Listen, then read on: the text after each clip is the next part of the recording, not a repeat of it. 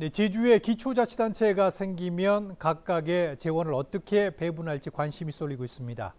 제주도는 기초단체 간의 재정 격차 문제를 해소하기 위해 제주만의 재정 조정 제도 도입을 고민하고 있습니다. 네, 여기다 특별자치도 출범 후 정부로부터 받는 보통교부세 3% 특례를 어떻게 유지하느냐는 것도 중요한 과제가 되고 있습니다. 문수희 기자의 보도입니다. 제주에 기초자치단체가 도입되면 재정은 어떻게 분배돼야 할까? 제주도의 구상대로 동제주시와 서제주시, 서귀포시가 도입되면 인구수에 따라 세입 격차는 불가피합니다. 특히 서제주시와 서귀포시의 시군세를 비교해 보면 큰 차이가 나고 있습니다. 이 같은 격차를 해소하기 위해 제주도는 제주형 재정 조정제도 도입을 고민하고 있습니다.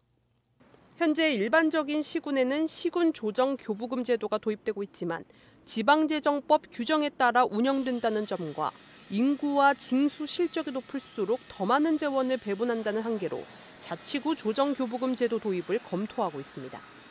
제주도가 확보한 예산을 조정 교부금 형태로 세계 기초단체에 균형 있게 배분하고 배분 근거는 조례로 정한다는 게 핵심입니다. 일반적으로 아, 지방재정법에서 정한 시군 조정교부금으로서는 조정제도의 역할을 할 수 없기 때문에 저희가 새로운 제도를 모색해가는 그런 가운데 있습니다. 제주형 조정교부금 도입을 위해서는 보통교부세 정률 3% 특례 유지가 전제되고 있습니다. 특례가 사라지면 보통교부세 액수가 큰 폭으로 줄 수 있고 전체 제주도 예산이 크게 흔들릴 수 있기 때문입니다. 다만 기초자치단체가 도입되면 특례 적용 근거가 사라지는 만큼 유지를 위한 논리 개발 필요성이 강조되고 있습니다. 또 제주형 조정교부금 운영 근거를 담은 제주특별법과 지방재정법의 개정도 과제로 제시됐습니다. 그 협의를 바탕으로 해서 지방재정법, 제주특별자치도법 그리고 조, 관련 조례를 새로 제정해서 시행하는 그런 과제들이 있을 것 같습니다.